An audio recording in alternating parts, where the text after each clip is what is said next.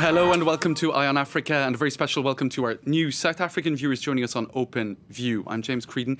These are our headlines from across the continent uh, this evening. In Ivory Coast, opposition and civil society groups demonstrated in Abidjan on Thursday. At least one protester died in clashes. Those protests were against President Alassane Ouattara's decision to run for a third term in October elections. More on that at the top of the show. In Mozambique, a key port in the north of the country remains in the hands of an Islamist group. This, according to several sources. The government is denying that it has lost control of Mocimboa de Praia. We'll get some analysis of that situation. And European holidaymakers, uh, they're a regular feature along the Tunisian coastline every summer, but this year most hotels and resorts are only barely ticking over. This despite efforts to keep the sector afloat. We'll bring you a report on that later on in the show.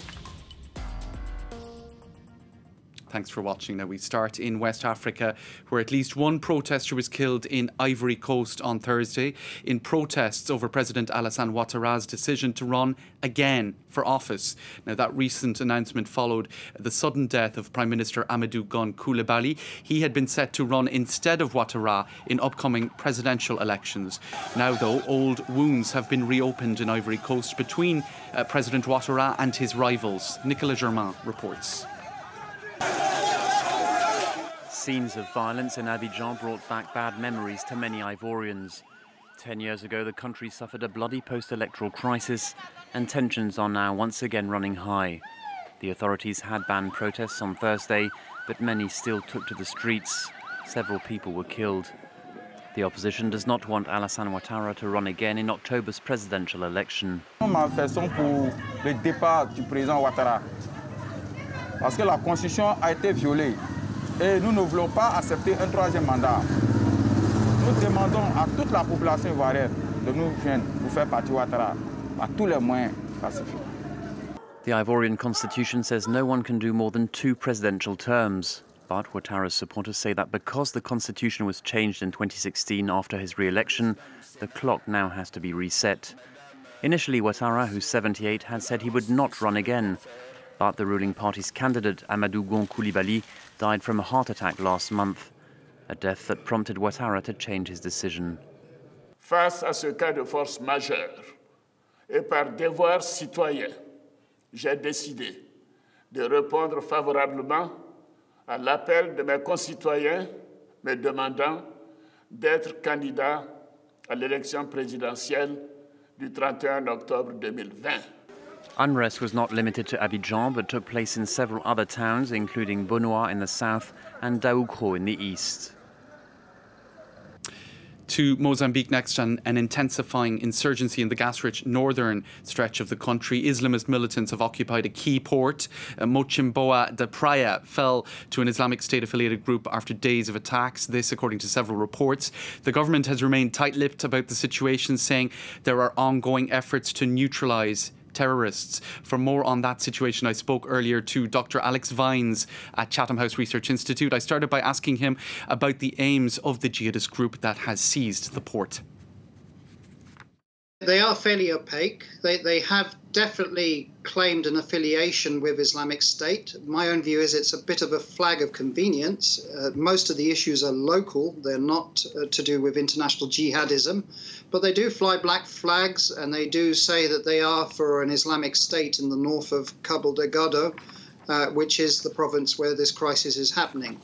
Um, they do seem to be better resourced than they were. They're certainly better motivated and they're better armed even than they were in January. So they have definitely improved their their, their ability in this insurgency.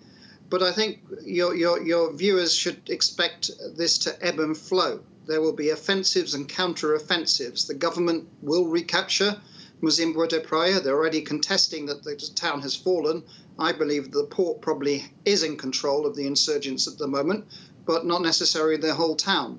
And now, just, uh, just to right, talk, this is the third time. Just to talk briefly about yep. the, the, territory of Mozambique, it's, it's, an enormous country. The capital, uh, Maputo, is in the far, far south, and this is taking place in the distant north. I mean, how much uh, is this to do with sim simply the, the, the, fact that the government is, uh, the central government at least, is very, very far away from uh, the action up here?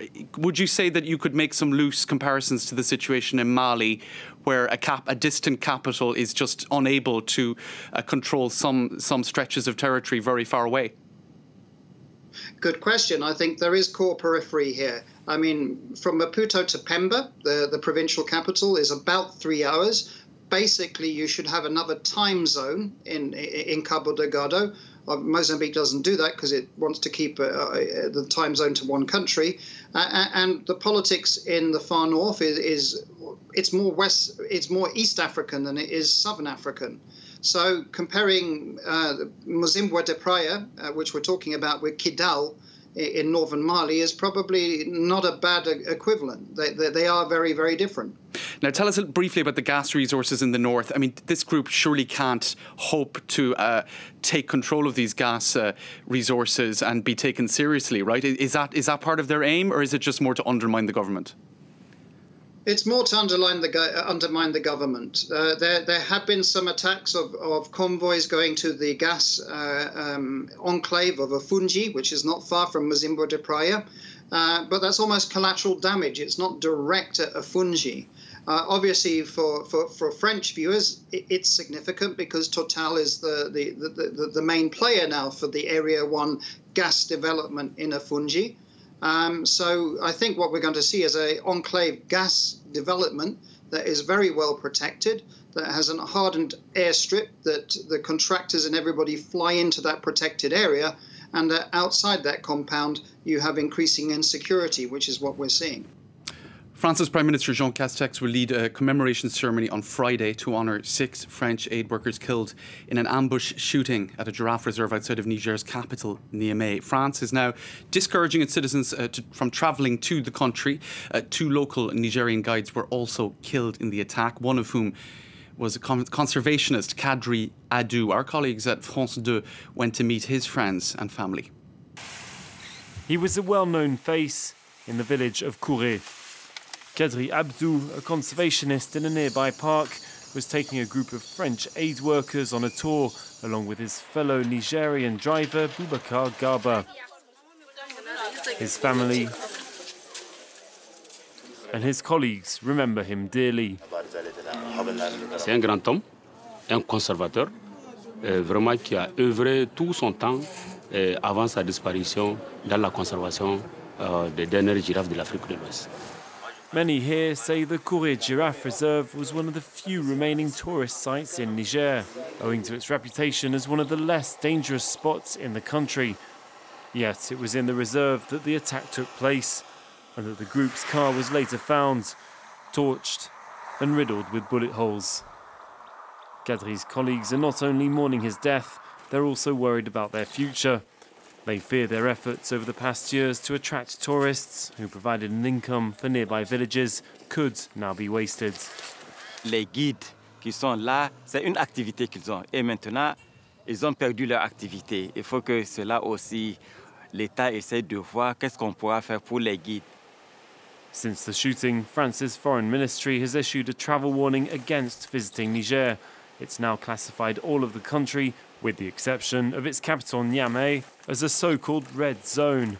Up until now, the Kouré Giraffe Reserve was considered a yellow zone, a lower, limited risk area.